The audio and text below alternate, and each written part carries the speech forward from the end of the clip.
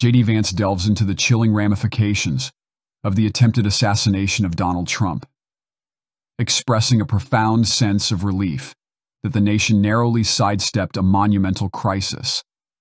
He passionately commends the bravery of those who responded to the threat while raising critical questions about the security lapses that allowed such a perilous situation to arise.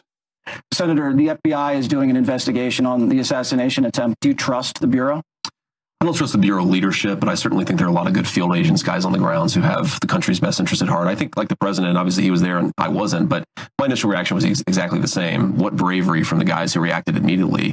But what the hell was going on? How was that guy ever allowed to be there in the first place? Which I think somebody, whether it's higher up or, or somebody else involved, really did screw up. And we have to get to the bottom of it because, you know, now me and my family are under protection. And uh, obviously the president's safety is of paramount importance. I mean, do people realize whether you're Democrat or Republican, what an unbelievable you know bullet that we all dodged, right? Of course, the president's life is, is the most important thing.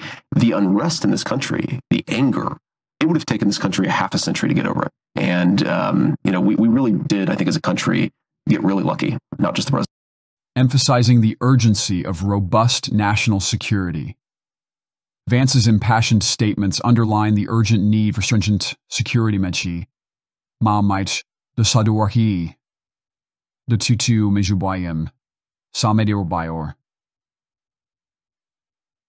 Safeguard national leaders and ensure the country's stability.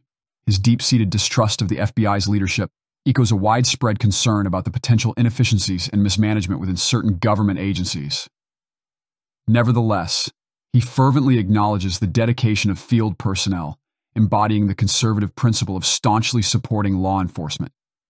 Vance's profound apprehension about potential unrest and sustained anger highlights a core conservative focus on preserving social order and stability. His remarks convey a heartfelt desire to avert social chaos and uphold national unity.